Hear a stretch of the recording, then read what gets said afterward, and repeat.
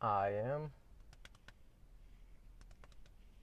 I am. Um, this video, I'm going to talk about the so called Rainbow Bridge.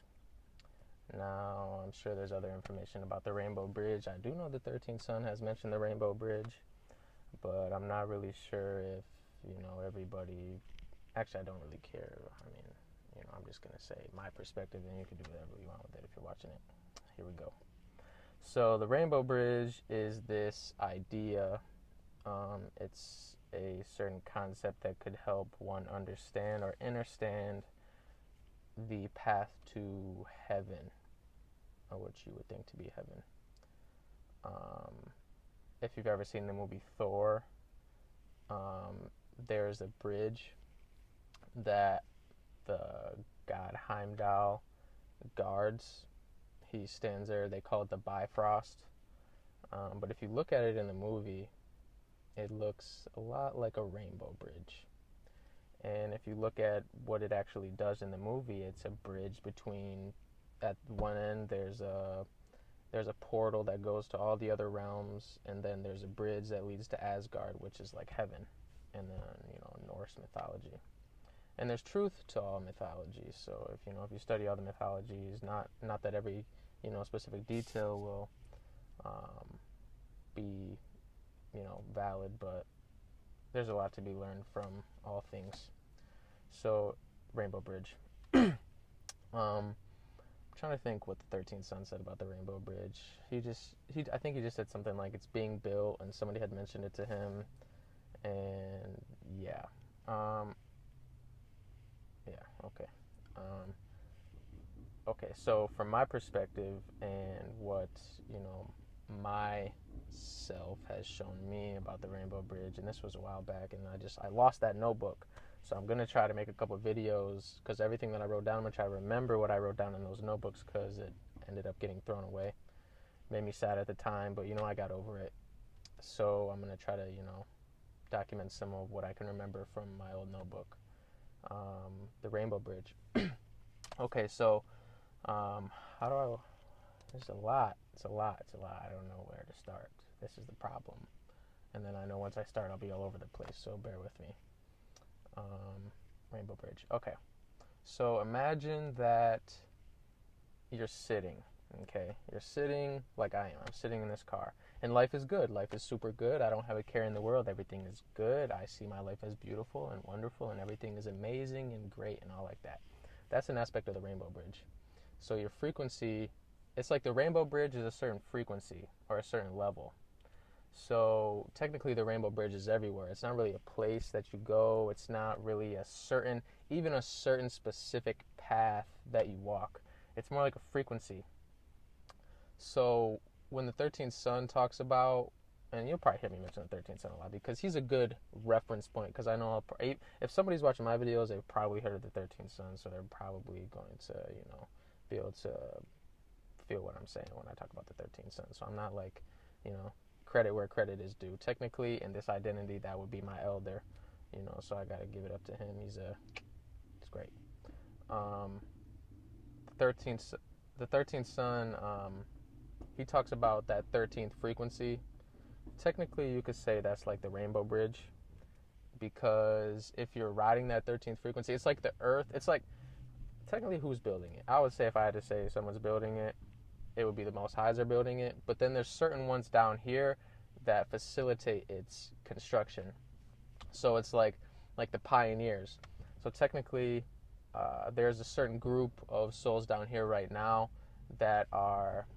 I don't want to say that the Rainbow Bridge doesn't exist until we come, but I will say it's kind of like a jungle. It's like it's like you know like when you're walking through the woods and if somebody's been walking that path a lot, it seems to be cleared out, and you know there's not a lot of sticks in the way or none. You know, a lot of the certain you know animals or whatever probably didn't make their homes around this area because you know a lot of people tend to travel this way. So, but if it's been there for like a hundred years and nobody's ever walked down that path, or you know maybe it's been a lot longer, maybe it's been thousands of years and nobody's walked down this path, there's gonna be a lot of thorns and just you know might be certain beings that you know hover around this place and all like that because it hasn't been used. It's like deactivated or whatever you want to call it. So the Most High say, okay, well, it's time for the Rainbow Bridge to come back online. It's time for the certain chosen children to be able to walk the path to heaven. It's time for them to be able to have a choice. So I will send you souls down there to facilitate this choice for these children so that, you know, nobody can say that, you know, they didn't get a fair shot. They're going to have a fair shot. And based on your karma, what you've done, it may seem more fair or less fair, but it's always fair. Um, so certain ones, you know, certain ones come here and they they be like the front lines. So it's like they got a machete. They go ahead of the group and they hack through all the jungle and you know clear the path if there's any like you know animals or something that would try to eat you or on the way. They go and they clear the path you know they take care of all that. That's what their that's their part of their creation. That's part of their path. That's part of their mission. Just like everybody else has certain things they do. There's, so there's certain ones that go and you know uh, just clear the way okay so that other ones that come behind them have an easier path to stay on the rainbow bridge so it's kind of like it's a specialized force, you could say. Like, uh, you know, if uh, I'll just leave it at that. It makes sense, right? Okay. So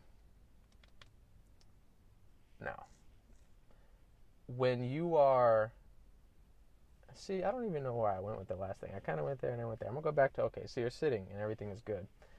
You could technically if you're getting knowledge and you're you know doing the right things and you're you know making your heart light and you're you're giving as much as you receive and you know you're not letting your heart being weighed down by you know holding on to everything and just wanting to possess things and you're you know you're a giving and receiving spirit because you don't want to just give all the time either you got to love yourself too so you must receive and you must give.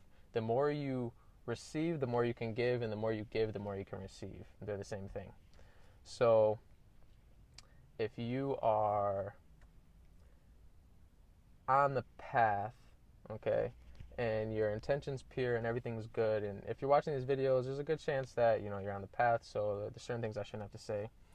Um, but for example, say everything's going good in your day, and you will be tested. You constantly will be tested. You know, whenever you're on the path, it just comes with the territory. It's all good because it's all a game and it's all fun and what would be the point if it wasn't some type of contest? Um, if everybody made it, then what would be the point? That doesn't that's that doesn't sound like a good time to me. You know, um, everybody's a winner. Well, then what does being a winner mean? Then? Um, so everything's going good, and then out of nowhere, let's say I don't even like I don't want to use that example because um, let's say, okay, for example, and this doesn't happen to me. I'm not saying as a personal example. It's just something that popped in my head. let's say you're driving down the road. I think it might have been something some song I heard or something. I don't know. Um, let's say you're driving down the road and everything's good, and then out of nowhere, your phone rings. Answer it, and it's just like your ex. You know, you were just feeling all good, everything was great, and then your ex calls you and she starts talking all this shit to you, bringing up all this old shit, and you're just bringing you back into the past and doing all these things and weighing you down. And as soon as she says something to you, like, um, just anything, and you, as soon as you give your attention to that, boom, you just fell. You just tripped up and fell off the rainbow bridge because you just let that certain energy affect your energy. So, and it could happen with anything. It's like, um, just like with the foods you eat, you know, every every food has a certain signature, a certain energy. So a lot of the stuff that the so-called man puts out for you is going to be of a very low vibration, and it's not food that you can eat on the Rainbow Bridge. It's just not food you can eat on the Rainbow Bridge. So you can't eat animals on the Rainbow Bridge because animals aren't walking on the Rainbow Bridge, and you are what you eat. So you must eat high vibrational foods. So let's say, you know, so er, let's for another example, let's say you everything's good, everything's great, everything you're having a good old day, you're walking the path and everything's smooth. And then somebody has a birthday party and you go to the birthday party and you eat a piece of cake and then you eat another piece of cake. And you're like, oh, that's the best cake I ever had. You eat another piece of cake. You eat like three pieces of cake and now you got sick to your stomach. Now you're feeling shitty. Now you're regretting that you ate all that cake and all like that. No, no, no, no. You just fell off the rainbow bridge again. It's and it could be something so simple as you're sitting down, everything is good, and a thought pops in your head, like, "What if all this isn't real? What if you're crazy? What if? What if? What? What? What? What? what? And then as soon as you start thinking about that, as soon as you give any type of attention to that thought, you just fall off the rainbow bridge again. So, rainbow bridge to stay on the rainbow bridge, what you need to do is stay in constant harmony with yourself, with your true self. And if you're it's, it's it's funny even hearing myself say certain things it's funny because I know that it, it's all a joke really. The universe is a big joke. If from my perspective, the universe is one big joke. Nothing about it is serious at all, at all, at all. So I try to, you know, I, I, I try to come from the point of oneness as much as possible. But I know a lot of people, you know, if they do watch these videos, they're not really gonna, you know, they don't really want that because that's not fun. And I feel you on that. It's really, it's sometimes it's not really fun. You know, if you're just sitting there as oneness and you know everything, like, shit, there's no contest, there's no drama, there's no nothing. So you play the game. So I guess some of these, some of what I say about the video is going to help you kind of play the game a little better, help me play the game a little bit better. You know, because you know it's like that Tupac song, you know, looking at the world through my rear view, and then and then he's like, the world is a game to be played, and once you know the rules to the game, it's like you're playing life's life's not playing you. You know, so you just got to learn more than you knew the last day, and you're doing better in the game. Um, it's like once you think you have some shit figured out, you've totally fucked up. Like what's that? What's that saying? That's uh, as soon as you decide what is, you close your mind to the possibility of what could be. So, yeah, don't don't decide what is, cause you know that's no fun. Um, what else was I saying? See, I'll be all over the place. I don't know what I'm talking about. um, Rainbow Bridge, Rainbow Bridge, Rainbow Bridge. Okay, so the way you stay on the Rainbow Bridge is focus always staying focused. When the 13th son talks about putting yourself in that pyramid, when you're imagining that pyramid over yourself, or you're imagining that aura around yourself, or whatever, what you're really doing is you're focusing on your highest vibration. So it's like you can't focus on a pyramid of light around your body and also be focusing on the cake you just ate. You know, it's like if you're focusing on the cake you ate and you're letting yourself feel sick, that's going to affect your whole vibration. If you're if you're focusing on like a shield around your body or you're focusing on you're using that crown, then technically it's going to raise your vibration just in that moment. And the higher you can put on your vibe, the higher you can raise your vibration in the moment, the more chance that you will have to be firmly placed on the rainbow bridge. Um, it's not to say that everything on the rainbow bridge is, you know, easy you know, because it's not supposed to be, because it's not meant for everyone. The Rainbow Bridge is not meant for everyone. But at the same time, you know, it's if you're already on the path, then be very thankful and you know give a lot of appreciation for that because you know um, technically technically you got a head start because and actually I don't really know because what I think is that these videos that I'm making a lot of people probably won't see them until they realize what's really going on and they realize that certain people just aren't here anymore. They disappeared. I don't know really what happened. It's because the mission's over and now it's time to leave again. So they will be able to look at a video like this and there's other ones too. People, you know, talk about these certain things and it's just the vibration really, you know, that uh that unlocks the DNA because I'm not really saying anything that you don't already know. If you're to make